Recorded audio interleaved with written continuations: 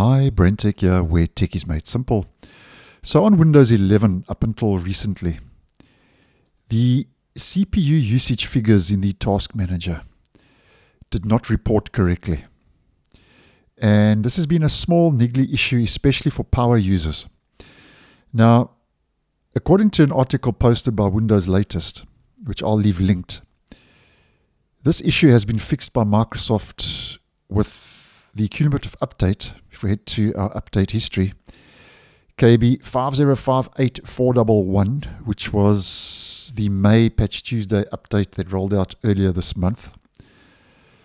And what it does is the update apparently switches the task manager to a single industry standard formula for CPU usage.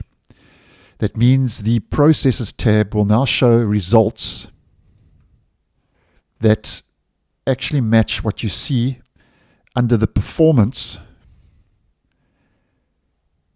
and the user tabs where prior to this update, those reportings of the CPU usage were different in those three different locations. So previously, the Windows 11 CPU usage formula used by the Processes tab in Task Manager didn't consider logical processes. Apparently, it also measured usage against the CPU's base speed instead of real time performance, which led to a lot of strange results and reporting taking place, as mentioned. And as an example, sometimes one core going full throttle could trigger a 100% CPU in the Processes tab, even on a 16 core processor where it didn't report that as an example under your performance in the CPU reporting. So as mentioned, Microsoft now has fixed this issue with that update.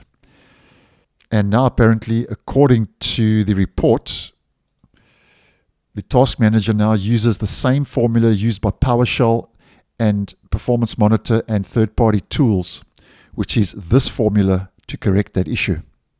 So KB5058411 on Windows 11 24H2 has apparently brought consistency back to the task manager's reporting in regards to the CPU.